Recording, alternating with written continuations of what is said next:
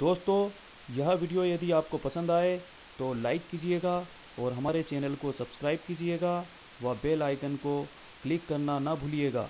ऐसा करने पर हमारे अगले वीडियो का नोटिफिकेशन आपको मिल जाया करेगा।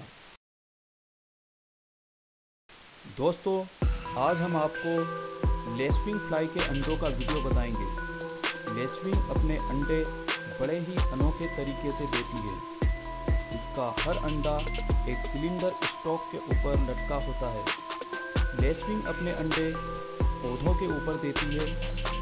सामान्यतः जहाँ एफिड्स होते हैं, क्योंकि इसके लार्वा एफिड्स को बहुत पसंद करते हैं।